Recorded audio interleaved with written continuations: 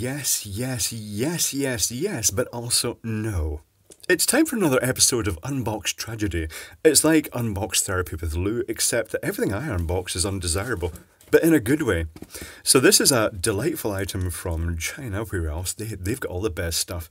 UV anti-acarien. I'm going to have to look that up. Germicidal lamp 20 watt. And this is the second attempt trying to get one of these. The first one, I made an attempt a while ago when I was doing a video about other ultraviolet stuff.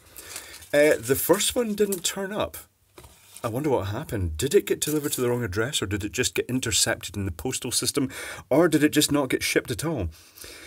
Uh, if it did get shipped to the wrong address and they opened it up and thought, oh, a free lamp, and completely ignored the fact it wasn't their address on the package, then they were in for a really bad education if they plugged this in. Because this is an ultraviolet lamp. It puts out UVC, which is the very short wave ultraviolet through this special glass, uh, and it sterilizes rooms. And if I plug this in, I'm going to plug it in very briefly. I'm not going to spend too long gazing at this blue wonder. Uh, here's the Flickery Hoppy meter for analysis. If I plug it in, it lights up this delightful blue. And see that purple then? That is real. That's what it looks like. It's fantastic in a bad way. Oh, I can smell the ozone already.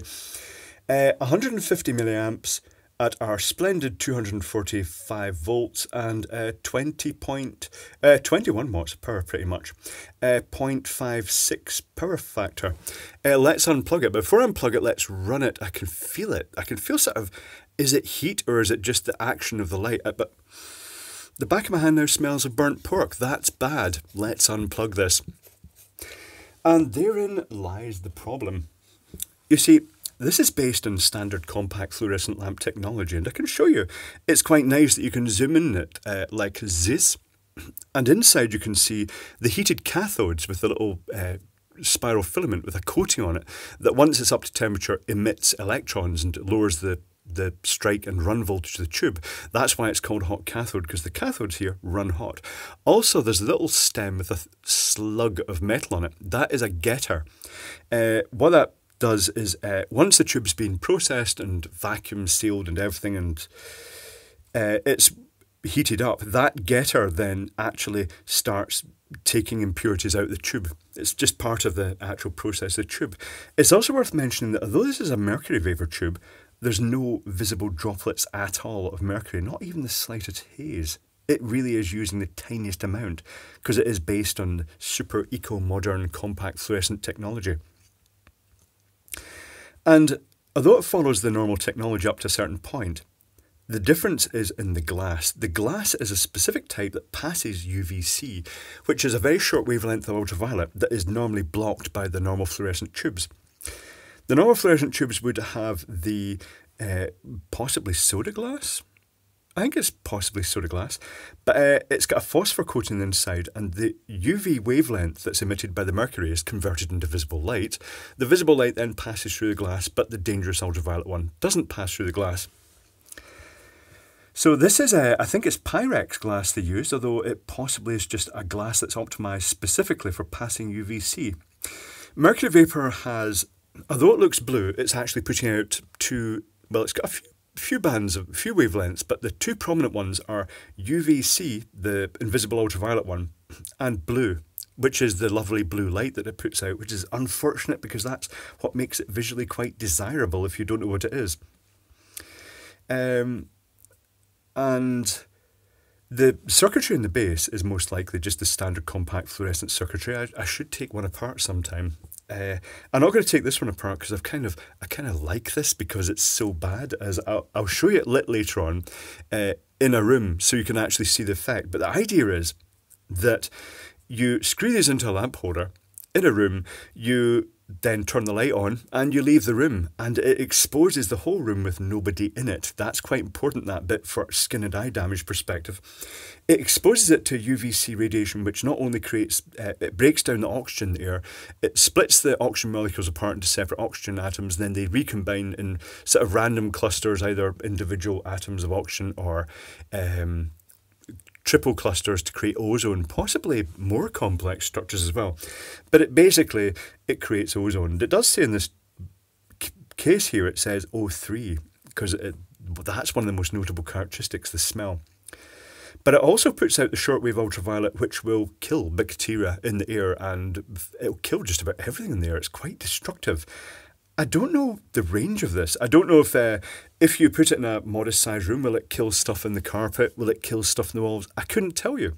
Um, but if you were to go into a room with these lit, and that has happened in a couple of instances, uh, where one that I mentioned recently was a fashion event where they had a sort of nightclub event in a was it a clothing store or something like that, and they decorated it with UVC germicidal tubes, thinking they were just a visually nice blue tube.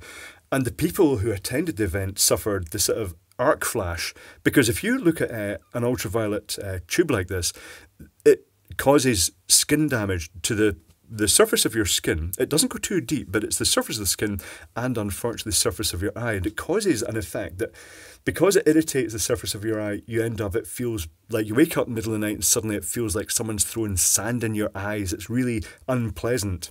Um, and all they can really do is put painkiller drops in your eyes to try and uh, get past that. It just it gets better over time. If you expose skin to it, uh, it will cause blistering and damage in the skin surface. It doesn't penetrate as deep as UVA and B, which are the primary sunlight ones that cause the sunburn damage. But the UVC is probably a factor in that because uh, it is quite destructive. It's notable, these little slugs here I think are uh, resin. And uh, th- when I first got this tube, those little slugs of resin were just crystal clear like water, like the glass. Uh, they've gone yellow. Uh, that is a characteristics of the ultraviolet because uh, it does break stuff down. Presumably, the resin in that instance is broken down.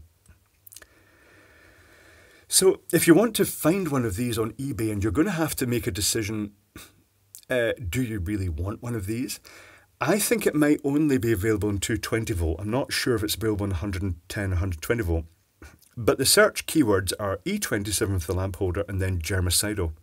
I think this might be common in China as a sort of like a, a room deodorizer and sterilizer. Not sure.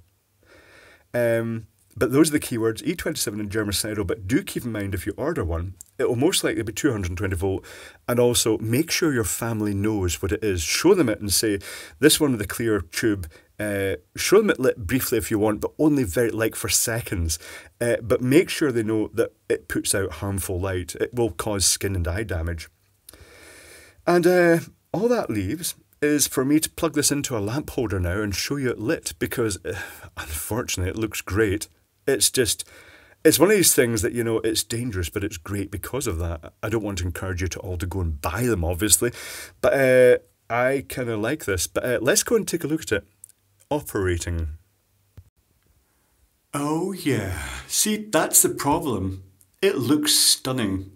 Uh, now, I want to point out that I'm not looking directly at, at, this lamp, and I do have glass glasses on, which would help, but this is not something you want to be in a room with. So I'll, I'll show you, I'll show you lighting the walls in the vicinity with that really lurid blue glow, and I'll tell you that this room smells very ozonian sterile.